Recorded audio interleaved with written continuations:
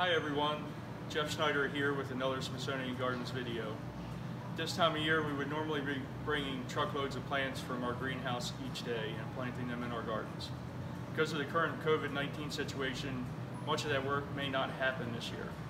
So I wanted to take the opportunity to at least show you what was supposed to be on display in the gardens this summer. I hope you enjoy this virtual behind-the-scenes tour of our greenhouse facility in Suitland, which is currently full of beautiful plants.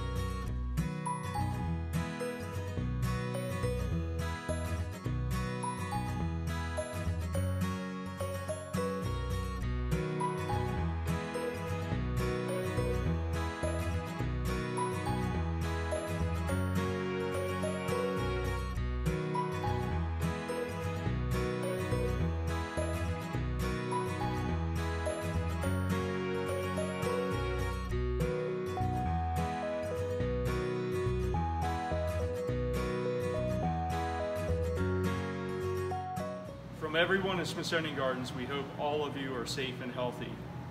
Take care. We hope to see all of you soon.